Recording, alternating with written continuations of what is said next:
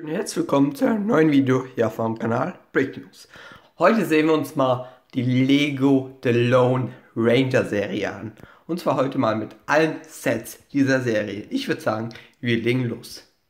Das erste Set in dieser Serie ist direkt ein Polybag. Und zwar die 30260, das Lone Rangers Pumpcar Polybag. Aus dem Jahre 2013 mit 20 Teilen und einer Minifigur gab es das Polybag damals für 4 Euro. Und ich finde es auch ein sehr, sehr gelungenes Polybag. Dadurch, man hat natürlich auch die Lone Ranger Pumpcar Minifigur dazu gehabt. Für einen billigeren Preis hat man hier diese Figur bekommen.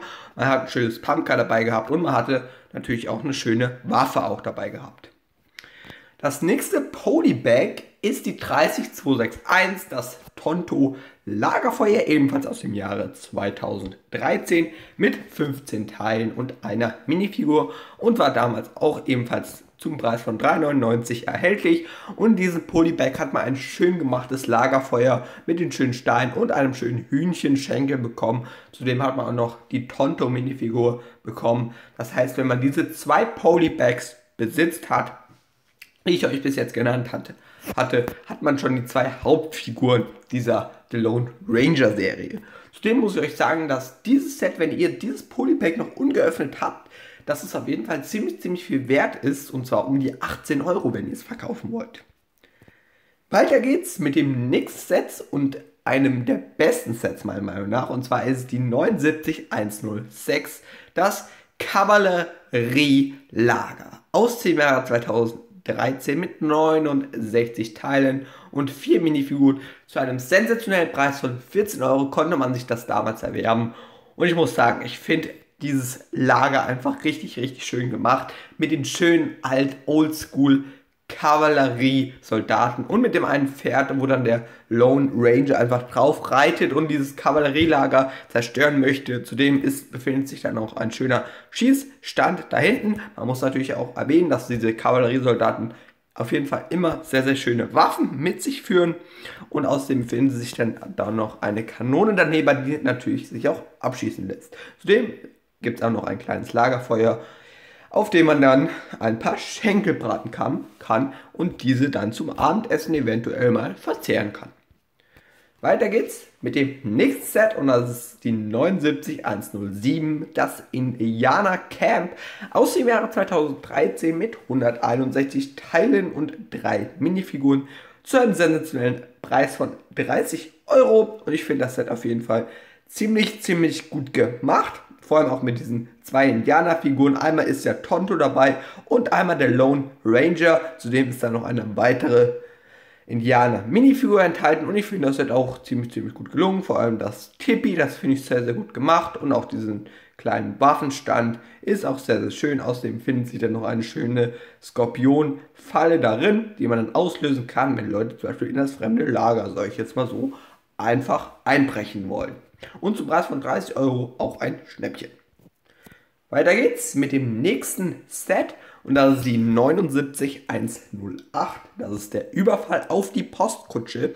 Ebenfalls aus dem Jahre 2013 mit 279 Teilen und 5 Minifiguren. Damals zum Preis von 30 Euro erhältlich und auch ein sehr, sehr wunderschönes Set. Wie eigentlich alle Sets aus der The Lone Ranger Serie. Wir brauchen die Serie unbedingt zurück. Sie hat sehr, sehr tolle Sets mitgebracht. Ich finde diese Kutsche auf jeden Fall ziemlich, ziemlich gut gemacht. Ein Lego-Kutsche gibt es auch nicht alle Tage und sie ist sehr, sehr schön überarbeitet.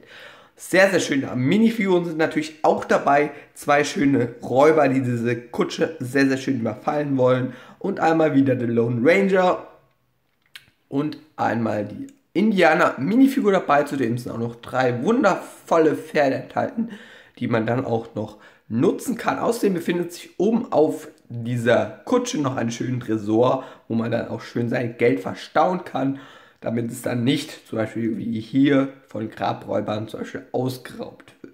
Zudem finde ich auch die Kutsche eigentlich sehr, sehr gut gelungen. Eventuell werde ich mir die auch mal rebuilden. Das heißt, ich werde sie mir aus den Teilen dieser Kutsche, werde ich sie mir einfach mal wieder zusammenbauen. Werde die mir einzeln dann bestellen. Wenn ihr das auf jeden Fall möchtet, dann lasst auf jeden Fall ein Like da, dann mache ich das mal in Zukunft. Aber weiter geht's mit dem nächsten Set. Und das ist die 79109, die Corby City Showdown aus dem Jahr 2013 mit 587 Teilen und 5 Minifiguren zu einem Preis von 60 Euro. Und ich finde, dieses Set ist natürlich auch mal wieder wunderbar gelungen. Mit wieder Tonto dabei und dem Lone Ranger. Außerdem noch drei Minifiguren, wobei einer davon ein Sheriff ist und sich zwei Banditen noch dazu befinden.